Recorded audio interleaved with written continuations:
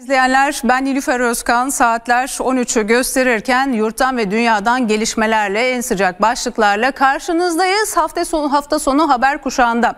Hemen siyasetin sıcak başlıklarıyla başlayalım. Cumhurbaşkanı Recep Tayyip Erdoğan Amerika Birleşik Devletleri'ne gidiyor. ABD yolculuğu öncesinde Cumhurbaşkanı Erdoğan basın toplantısı düzenleyecek. Hemen sözü TV100 muhabiri Gülay Alaca'ya bırakalım. Gülay sendeyiz. Nedir aktaracakların? Evet önümüzdeki birkaç gün gözler New York'ta olacak. Liderler Birleşmiş Milletler Zirvesi'nde bir araya gelecek.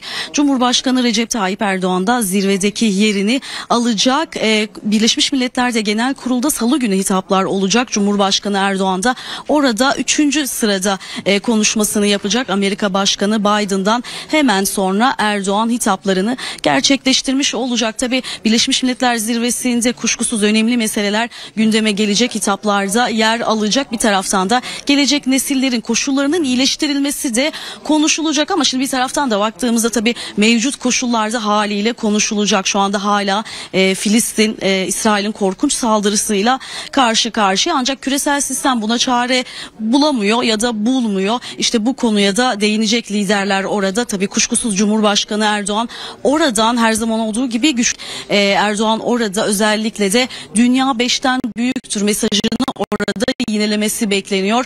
E, Filistin'le ilgili de önemli mesajlar vermesi bekleniyor. Bunun yanı sıra yine bir taraftan da devam eden Rusya-Ukrayna savaşı var. Erdoğan'ın bu konuya da ya da diğer küresel meselelere de değinmesi bekleniyor. Bunun yanı sıra orada önemli görüşmeler olacak. Üst düzey görüşmeler gerçekleşecek.